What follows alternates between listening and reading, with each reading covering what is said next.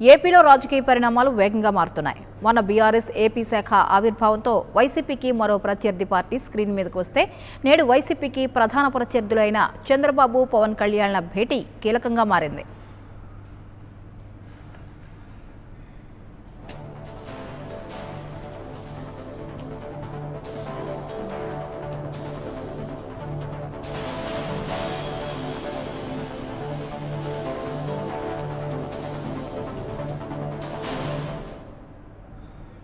అవును వాళ్ళిద్దరూ మళ్ళీ కలిశారు. విశాఖలో జనసేన అధ్యక్షుడు పవన్ కళ్యాణ్ను నిర్బంధించి ఆ పార్టీ నేతలపై కేసులు నమోదు చేసి అరెస్ట్ చేసిన సందర్భంలో టీడీపీ అధినేత చంద్రబాబు స్వయంగా వెళ్ళి విజయవాడలోని ఓ హోటల్లో పవన్ కళ్యాణ్ను కలిసి సంఘీభావం తెలిపారు. అయితే ఇది రాజకీయ కలయిక కాదని ప్రజాస్వామ్య పరిరక్షణ కోసం వైసీపీ ప్రభుత్వ ప్రజా వ్యతిరేక విధానాలపై పోరాటంలో భాగంగానే కలిశామని ఇద్దరు నేతలు ప్రకటించారు. సేమ్ మళ్ళీ అలాగే తెర మీదకు వచ్చారు బాబు పవన్. గత ఏడాది అక్టోబర్ పద్దెనిమిదిన ఈ భేటీ జరగ్గా ఈసారి పవన్ కళ్యాణ్ స్వయంగా బాబు నివాసానికి వెళ్ళి కలిశారు భవిష్యత్ కార్యాచరణపై ఇరువురు అధినేతలు చర్చించారు.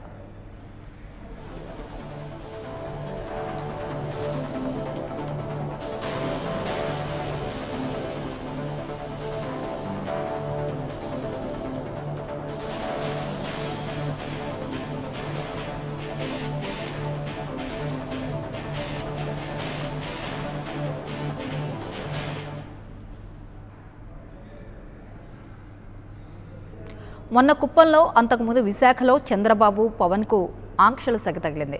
ఇద్దరికి ఇద్దరికీ ఏపీ సర్కార్ నిబంధనల పేరుతో ముప్పు తుప్పలు పెట్టింది. వీటిపై భగ్గుమన్నారు చంద్రబాబు. తాజా భేటీతో టీడీపీ జనసేన పొత్తులు దాదాపుగా ఖరారైనట్లే తెలుస్తోంది. ప్రజాస్వామ్య పరిరక్షణ పేరుతో ఉమ్మడి పోరాటం చేయాలని చంద్రబాబు పవన్ నిర్ణయించుకున్నట్లు తెలుస్తోంది.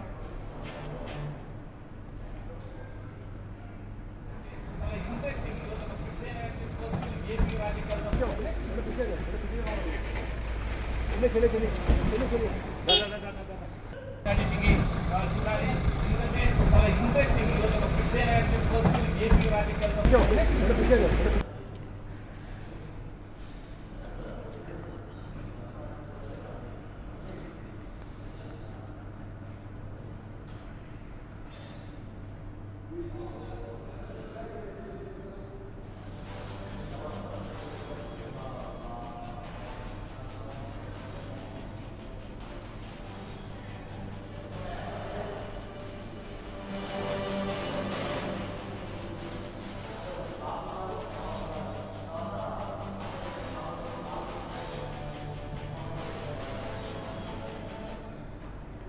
పార్టీ ఏం చేసిందో మీరు అందరూ చూస్తున్నారు. ఒక రాజకీయ పార్టీగా. పవన్ కళ్యాణ్ గారు ఈరోజు జనసేన అధినేతగా ఆయన ముందుకెళ్తున్నారు. ప్రతి ఒక్క రాజకీయ పార్టీకి ఒక నిర్దిష్టమైన ఆలోచనలు నిర్దిష్టమైన ప్రణాళికలు ఉంటాయి. వైఎస్ఆర్ కాంగ్రెస్ పార్టీకి మాత్రం రౌడీజం నేరాలు చేయడం అవినీతి చేయడం ప్రజాస్వామ్య వ్యవస్థని భ్రష్టు పట్టించడం వ్యవస్థలను నాశనం చేయడం ఇంకొక పక్క ఎవరైనా ప్రజల తరపున పోరాడతామంటే అవి ప్రజా సంఘాలు కావచ్చు రాజకీయ పార్టీలు కావచ్చు దాడులు చేయడం.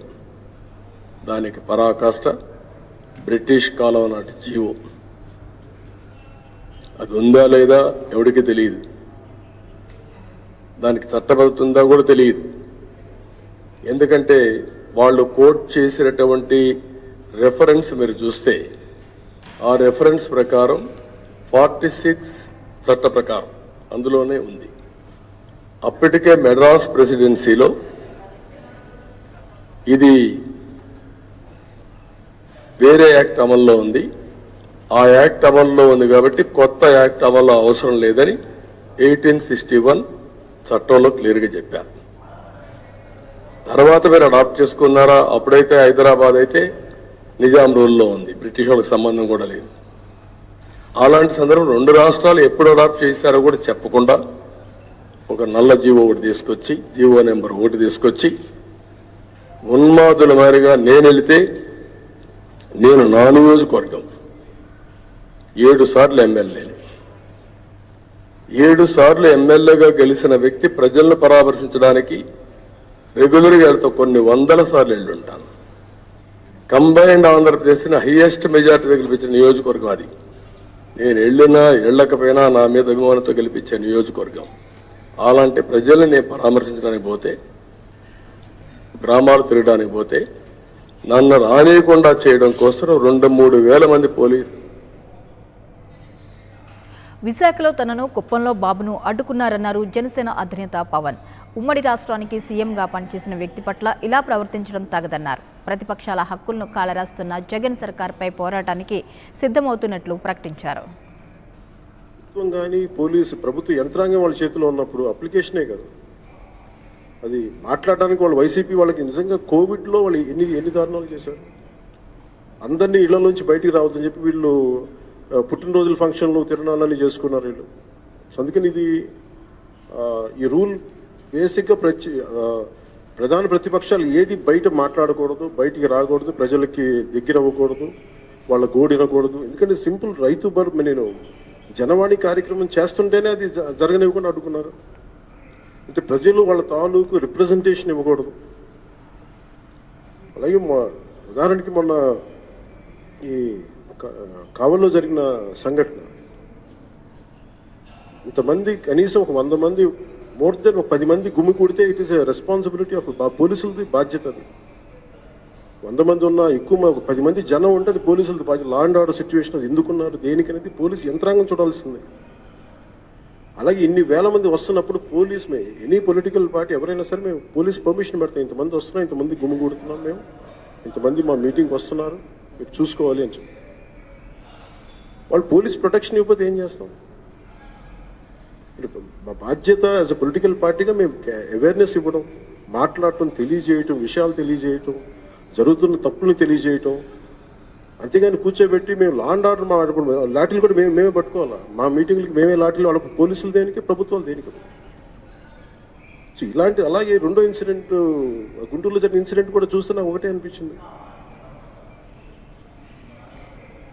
ఈ పోలీస్ కనుక నిజంగా నాకు సింపుల్ ఇది law and order security failure అది ఈ మీటింగ్ సంబంధించి. దీంట్లో ఎందుకంటే ఇది మన కోనసీమ విషయంలో కూడా మనం చూసాం అంతకుముందు రిజర్వేషన్ గొడవలప్పుడు కూడా చూసాం. బేసిక్గా వీళ్ళందరూ వివేకానంద రెడ్డి గారి హత్య కేసులు చూసాం. వాళ్ళే మా కోడికత్తి కేసులో చూసాం. వాళ్ళే దాడులు చేయించుకొని వాళ్ళే వాళ్ళ మంత్రులు తగలబెట్టుకునే సంస్కృతి వైసీపీది. అలాగే దీని వెనక ఖచ్చితంగా కుట్రకోణం ఉంటుంది. ఎందుకంటే కుట్రకోణం అంటే చాలా సింపుల్ దీనికి. ఏదో సింపుల్గా తప్పు జరుగుతున్నప్పుడు పోలీసులు ఇనాక్టివ్గా ఉండి వాళ్ళు మాకు వాళ్ళకి ఏమి పట్టకుండా చూస్తే చాలు ఆటోమేటిక్ జరిగిపోతుంది. దాంట్లో ఎవరెవరు సంఘ విద్రోహ శక్తులు దూరితే తెలియదు ప్రత్యేకంగా నేను ఇది వైజాగ్ ఇన్సిడెంట్ మీ అందరికీ తెలిసిందే. ఎహెడ్ చెప్తా ఉన్నారు గొడవలు జరగబోతున్నాయి జరగబోతున్నాయి అట్లాగే జరిగినాయి. మీరందరూ చూశారు ప్రపంచంతో చూసింది. మూడు నెలలకు మనకు ఒకసారి వెళ్ళాను. మేము మీటింగ్ పెట్టుకుంటే మా మీటింగ్కి వాళ్ళ మనుషులు పంపించి మా మీద దాడి చేసి ఆ రోజు మా మీద కేసులు పెట్టారు. ఎనిమిది మంది నెల రోజులు జైల్లో ఉన్నారు. డెబ్బై నాలుగు మంది యాంటిసిపేటరీ బెయిల్ తీసుకొని వచ్చే పరిస్థితి వచ్చారు. నిన్న కూడా నాలుగు కేసులు పెట్టారు. ఎవరు పెట్టారు ఆ కేసులు అంటే పోలీసులే పెట్టారు. మహిళలు వాళ్ళపైన హత్యా ప్రయత్నం చేశారంట. Three nought seven case. అక్కడి నుంచి ప్రారంభించాం. మా వాళ్ళు కూడా అన్యాయం జరిగిన వాళ్ళు పోలీసులపైన కేసులు పెట్టే పరిస్థితికి వచ్చారు. ఇది ఫస్ట్ టైం చరిత్రలో పోలీసుల పైన కేసులు పెట్టడంగా తిరిగి ప్రైవేట్ కేసులు పెట్టడం. ఇలాంటివన్నీ చేసే పరిస్థితి వచ్చాడు ఈ ముఖ్యమంత్రి. ఫస్ట్ అన్ని రాజకీయ పార్టీలు ప్రజా సంఘాలు ప్రజాస్వామ్యాన్ని కాపాడుకోవాలి. ఎట్టి పరిస్థితిలో జీవో నెంబర్ వన్ యాక్సెప్టబుల్ కాదు. ఇది కరెక్ట్ కాదు. నీకు చేతనైతే ప్రజల్ని మెప్పించు ప్రజల దగ్గర తిరుగు కానీ ముఖ్యమంత్రి పరదాలు కట్టుకొని తిరుగుతాడు. బలవంతంగా మనుషులు లాక్కొస్తారు. బెదిరిస్తారు. పెన్షన్లు కట్ చేస్తాం రేషన్ కట్ చేస్తామని. ఇంకొక పక్కన ఆయన మాత్రం మీటింగ్లు పెట్టుకోవచ్చు. జీవో వన్ ఉంటుంది. వీళ్ళు మాత్రం రోడ్లలో రోడ్ షోలు చేయొచ్చు. వేరే పార్టీలు చేయడానికి లేదు. దానికి సాకేంటి కందుకూరులో సంఘటన జరిగింది. గుంటూరులో సంఘటన జరిగింది. నేను అడుగుతున్నా ఎవరు కారణం మీ కుట్ర మీ బ్రిటిష్ కాలం నాటి జీవాలను తెచ్చి ఆంక్షలు పెడుతున్నారని కానీ అధికార పార్టీ కార్యక్రమాలకు ఎలాంటి ఆంక్షలు లేవని దుమ్మెత్తిపోశారు జనసేన అధినేత.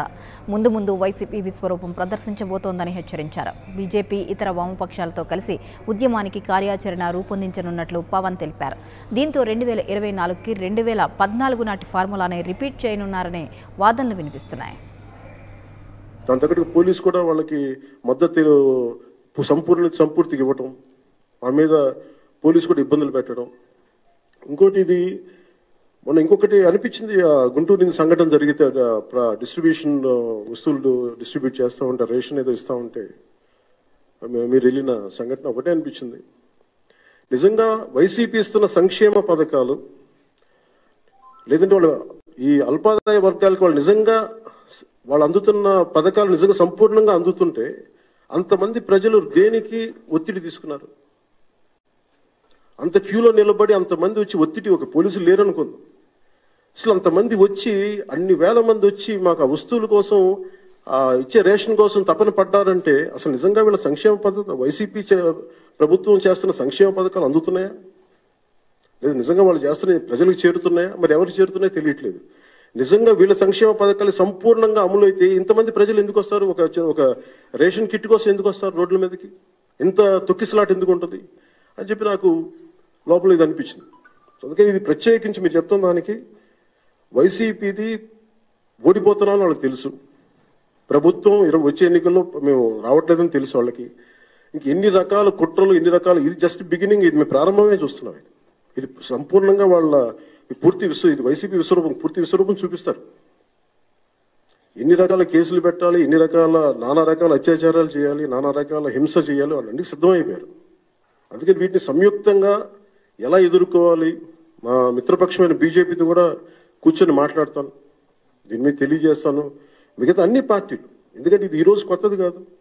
ఎమర్జెన్సీ టైంలో కూడా కాంగ్రెస్ అప్పుడు కాంగ్రెస్ ఉన్నప్పుడు అన్ని పార్టీలు ఇంక్లూడింగ్ కమ్యూనిస్టులు కానీ జనసంఘ్ కానీ ఇప్పుడు ప్ర- ఇప్పుడు బీజేపీ కానీ ఇంక్లూడింగ్ డయామెట్రిక్లీ ఆపోజిట్ ఐడియాలజీ ఉన్న పార్టీస్ కూడా ఒక వన్ ప్లస్ సింగిల్ ప్లాట్ఫామ్ మీదకి వచ్చినాయి. అలాగే నేను వై- వైసీపీ వ్యతిరేక ఓటు చీలనివ్వనంటే నా ఉద్దేశం ఏంటంటే అసలు నువ్వు డెమోక్రటిక్ ప్రాసెస్ నువ్వు ఎలా చేస్తేనే కదా వాయిస్ ఆఫ్ డిసెంట్ ఉంటుంది డెమోక్రసీలో అందరూ మనకి నచ్చే వ్యక్తులు ఉండరు.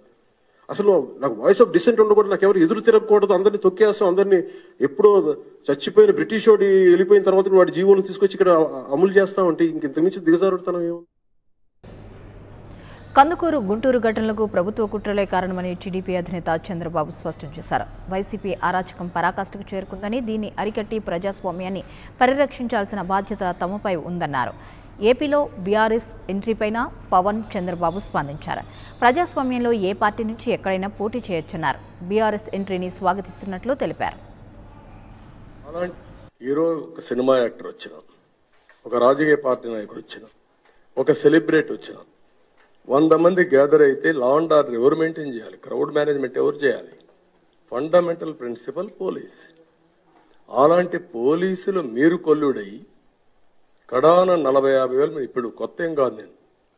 పవన్ కళ్యాణ్ గారి పోయినా నేను పోయినా విపరీతంగా వస్తున్నాను వచ్చినప్పుడు ఎవరు మెయింటైన్ చేయాలి? దీనికి ఆన్సర్ మీటింగ్లు పెట్టకూడదనా? మీటింగ్లు పెట్టకపోతే ఏం చేస్తాం మేము? ప్రజా చైతన్యం అటు తీసుకొస్తాం. నువ్వు మాత్రం మీటింగ్లు పెట్టుకోవాలి బలవంతపు మీటింగ్లు ఆర్టీసీ బస్సులు ప్రైవేటు బస్సులు స్కూల్స్ కాలేజీస్ డాక్రా సంఘాలకు బెదిరింపులు. నువ్వు మాత్రం మీటింగ్లు పెట్టుకొని సొల్లు కబుర్లని చెప్పాలి. మేం మాట్లాడితే మాత్రం వస్తే మాత్రం రాకూడదు. ఎక్కడా తిరగకూడదని ఆంక్షలు పెడుతూ ఇవన్నీ చేసే పరిస్థితికి వచ్చారు. మొన్న కందుకూరులో జరిగింది కానీ గుంటూరులో జరిగింది. వైఎస్ఆర్ కాంగ్రెస్ పార్టీ కుట్ర.